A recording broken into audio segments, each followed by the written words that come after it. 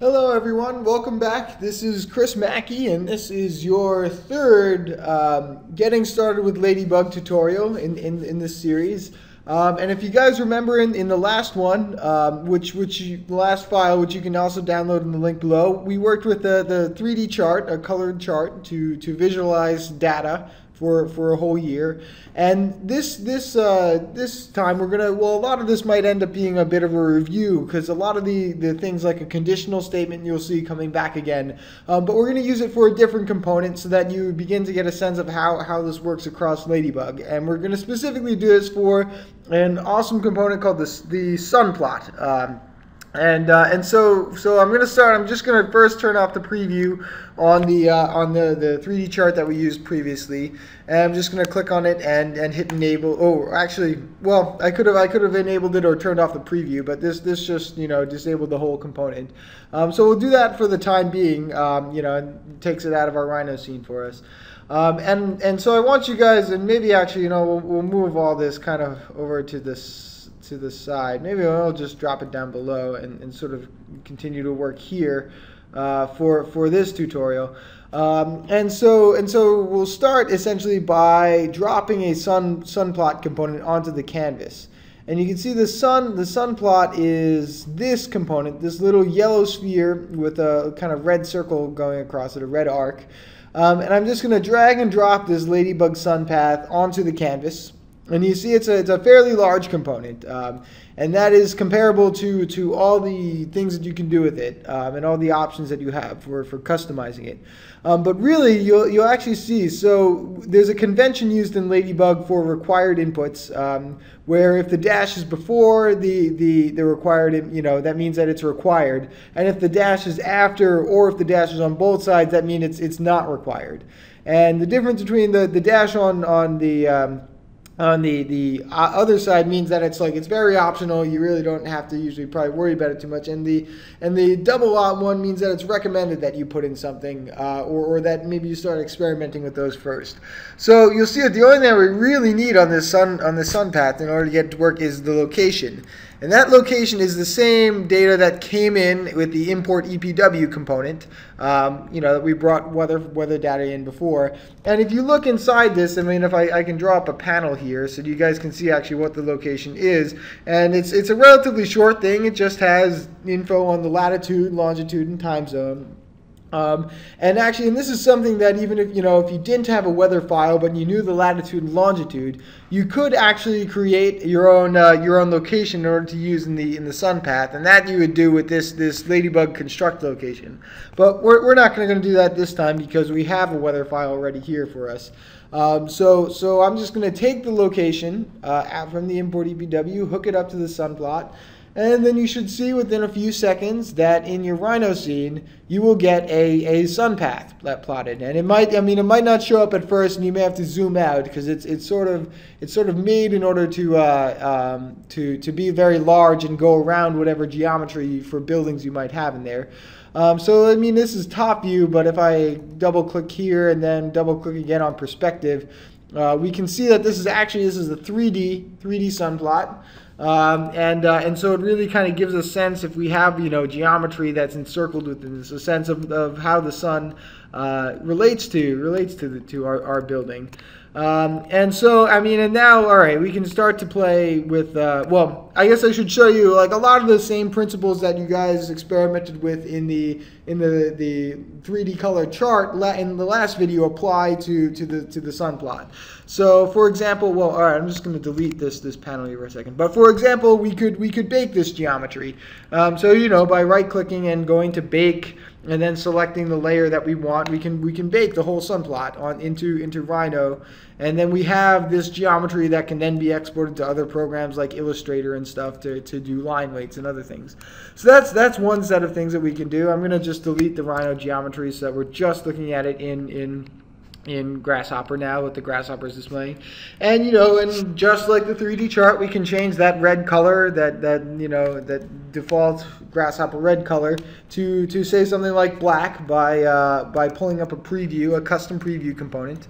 Um, you know, also, and before I go too much more into the sun plot, I should say, so Mostapha, who is the the wonderful person who started this, uh, the the Ladybug and Honeybee open source project, uh, he has three very awesome, long, good tutorial videos on the sun plot already. And I'm just going to do a very basic overview for, for people who are just getting into Grasshopper or, and, and, and Ladybug, just because it's a very good way to get a sense of some of the conventions. Um, uh, you know, and, and there's a lot more that you can do with it than I'm going to cover in this video. So just keep that in mind. I've posted, i will post Mostapha's uh, uh, three tutorial videos in the description here if you want to go more beyond this. Um, but for now, we're just going to do some simple things like, okay, let's make this, make the, the, the curves black. So I'm going to hook up the sun path curves to the preview component, and I'll hook up the legend, uh, let's say. And then I need to pull up a swatch in order to change it from this crazy hot pink color um, and let's say we'll make the swatch black by dropping down the value and hooking it up there. And so yeah, so now we've got we've got something that we can you know even take a print screen of, for example, and and you know just just send over to to uh, you know a, a, client or or a fellow designer very quickly just to you know let them know where the sun position is in relation to to uh, to the building. So, but now, but there's other things that we can do. So you see, by default, the sun is in position of the winter solstice here at noon uh, in, in particular. So it's, it's at the lowest in the sky that it is for any noon period. And you can actually get a sense these curved, like curvy, swoopy lines are actually represent the hours of each year. So this is like 11 a.m. This is this is 12 noon. This is 1 1 p.m. And so I mean, so that's that's exactly what those those arrows are marking out. Those uh, sorry, those lines are marking out there. So we can move the sun around. Let's say we don't want to look at it in December on the winter solstice. Um, let's say maybe we want, uh, well, first let's make a slider that goes through all the months of the year. And there's a shortcut, there's an easy way to do that if you just start typing numbers. And so the Grasshopper convention for this, if we want to make a slider going from 0 to 12, is to first type 0, and then we do a less than sign, and then we just type the number 12, and then finally hit enter. And that will automatically make a slider that goes between 0 and 12, between all of our months of the year. And we can see now hooking this up to the month input, in, like uh, input of the, the sun plot. So for example, we just set it to 3 and hook it up there. It's going to move the sun into the position of, of where it is in March. And you know, we can begin to scroll through. I mean, my computer is a little slow. It might be faster on yours. Um, but you can scroll through the months of the year and get a sense, you know, move that the sun around in that in that sense. Um, and you know, we could also, let's say, make a well, make another one that goes from uh, zero to 24 using that same convention that I just showed you guys, and we can scroll through the different hours of the day as well um, you know, keeping the, the sun in all these these uh, these interesting positions. And you can see, so we're getting this sort of visualization out, you know, as as we do this. Um, but also importantly, it, would be important to note we get a lot of things out of this component. Um, a very important one being the the sun vectors. So if you pull up a panel and see what the what the sun vectors are here, and I mean, this isn't maybe so so important for us to immediate like immediately right now, but it's something that's used in a lot of the other components, especially a number of these shading and, and ray tracing components that you may be interested in working with later. Um, and so, so you can use this to, to do to for for those types of components, and this is meant to be a kind of a starting point for that. Um, but you can see the sun vector; it's just an x y z value for the direction of the sun at that time. Um, so, so that's an important thing to note. Um, now, again, I mean, a lot of the things that you recognized before. Well, actually, okay. Well, before before launching too much into into the, some of the things that you might recognize before, I like the conditional statement on this thing. Um, let's say you want to make a, a sun plot for every single hour of the year. Um, instead of just the single sun as you see a position here. And that you can do if you have a, an analysis period here. Essentially, if you put an analysis period in for that. And so to do that, well, I'm gonna I'm gonna first start by just deleting these these sliders for right now. Um, uh, because you know we're not necessarily interested in looking in a single hour of the year. And in order to set an analysis period, you can use this Ladybug analysis period component that's in, in the, the tab, the Analyze Weather Data tab. So if you just drag and drop that analysis period component onto the canvas, um, you'll see this, this allows you to set essentially a, a period of from a certain month, day, hour to a certain month, day, hour.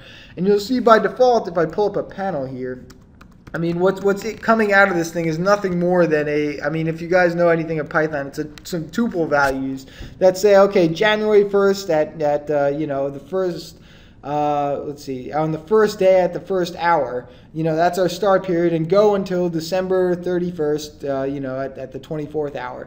And so you can change some of these things to, you know, say be just for month, two months six or something. I mean, I don't know, I could do that just to, to show you guys how that works quickly. But, you know, you see it changes that, that uh, uh analysis period there. But I think for this one, let's, let's you know, we want to make it for the whole year. Um, so let's just take this default whole year analysis period and plug it into the analysis period of the sun path. And then you'll see it'll take a little bit of time because it's going to now essentially calculate that and generate a sun for every single hour of the year. Um, and it's going to fill, fill up all these, these lines with little yellow suns. Um, and uh, and so I know I know that might not seem like it's actually I mean if they're all yellow as you're going to see in a second that might not seem like it's really telling you much more information but there's a very important thing that we're going to do with that that uh, that condition in a second um, uh, that that I think you guys will be very happy about. Um, so let's see. All right, so you see we get those yellow suns for every hour, and my display accidentally closed the uh, the, the Rhino interface there. Okay, brought it back. Or sorry, the Grasshopper interface. Uh, and so, all right, so we're getting yellow suns for every hour of the year, um, you know, but also, but we're getting sun vectors for every hour of the year. And so you can, you know, maybe this is a hint that maybe some other things you could do with it later down the line. You also get all the sun up hours of the year, which is, you know, HOY stands for hours of year. So, so yeah, so you can maybe start to use that to select out certain types of data. But I mean, the, the real power of actually of hooking up an analysis period like this is that we can then actually hook up, say, any of these inputs that we get in here and like add to, to this annual hourly data input. And what that will do, I'll, well, I'll just I'll just connect it right now. Let's say we'll take the air temperature and we'll hook it up to the annual hourly data of the sun path. And you'll see what, what will happen is that it will color each one of these, these yellow suns with the temperature for that hour of the year. And this then will allow you to see certain things like, you know, what, what are the, the time periods when it's very hot outside? What is the sun position of that? And then you can, you know, start to think, all right, well, though these are the, you know, those hot conditions are the suns that I really have to shade. Um, and so, so I mean, you could start to imagine using it that way. Um, and I'm just going to fast forward for a second because my computer is so slow coloring these suns. Oh well, actually, it's it's not so slow. I didn't need to fast forward. It was it was it was right there, um, and hopefully it was faster on your machine. But now you're getting yes, you're getting colored suns, and you're getting a temperature scale for those colored suns, where the hottest sun is is you know around 36, um, the the coldest sun is around 12. Um, and so, all right, so yeah, you can get a sense of exactly what I was telling you about. But of course, well, you know, what would be really awesome is if we could, you know, use a color scale like we did for the for the 3D chart or the colored 3D chart, where we, you know, essentially colored it with temperatures that were too hot or too cold, you know, for or, you know for the comfort conditions of people, instead of this arbitrary scale that was determined by the limits of the data. And we can do that very easily with with the legend parameters that we've already set up for the 3D chart. So, you know, you can imagine this could be really useful for coordinating a set of graphics. So I'm just going to pull this up here. And we don't really need that panel there. That was just to, you know, to display the colors. But if we take our legend bar then for a 3D chart that, you know, colored the sun from 12 to 26 with those custom colors and plug them into the legend bar of the sun path, you should see again, it's going to take a few seconds, but it's going to color those suns with the same exact criteria that we had colored our 3D chart with earlier um, in, in, the, in the last video. And so I'm just, I'll fast forward until, until this finishes. Okay, and there you have it. That there are your colored suns, where red is, is signifying temperatures that are too hot for most people, where you're definitely going to want shade. And the blue is, is denoting conditions where, I mean, below 12, you're probably 12 degrees Celsius, you're probably really going to want, want shade a lot. Um, and, uh, and so, yeah, so, I mean, you could use this to really start making meaningful graphics of, like, of the, the you know, the suns that are important to shade. Uh, but now let's say, I mean, I mentioned the conditional statement again here. I mean, as, as an important part of, um, of, of, of the sun path. And, and again, we can, we can hook in a conditional statement here to, to make a custom sun path. But before I do that, I wanted to kind of show you guys that, I mean, just like the 3D chart, you can hook up multiple types of annual hourly data. Um, you know what, I'm just going to move the sun path up so you can see exactly everything that's connected here. So if we want to also connect like relative humidity and make a conditional statement based on temperature and humidity, just as we did with the 3D chart, we can do that for the sun path. And so I'm going to do that first by, well, I'm, I'm, going to disable the component because I don't want it to recalculate each time I make a change to it. So I'm just going to right click on it and hit enable, and that's going to temporarily disable it. And I'm going to disconnect, right click on the legend par and disconnect it uh, because we don't necessarily want the humidity to be colored with the, the, the, same scale. And I'm going to, you know, uh, I'm going to hold down shift after, after starting to drag out the relative humidity and connect that up to the annually hour, annual hourly data as well. And then you know, well, let's see. We'll, let's let's write out a conditional statement so that we'll do this all at once, so that it, you know we don't have to re have the, the sun path recalculate each time. But uh, but let's bring up a panel by first hitting quotation marks.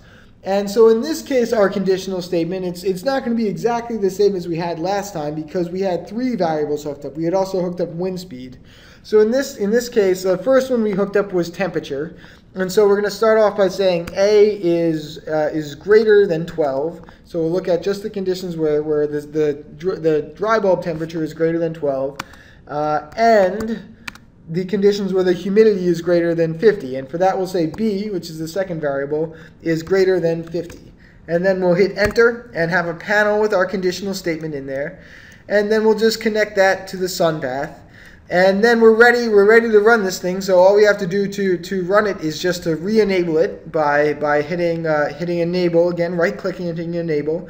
And this, is, this will take some time to calculate, but you'll see we'll get two sun paths out of this actually this time because we hooked up two streams of annual hourly data. Um, and I'm going to fast forward so that you guys don't have to, to have to sit through my slow computer again.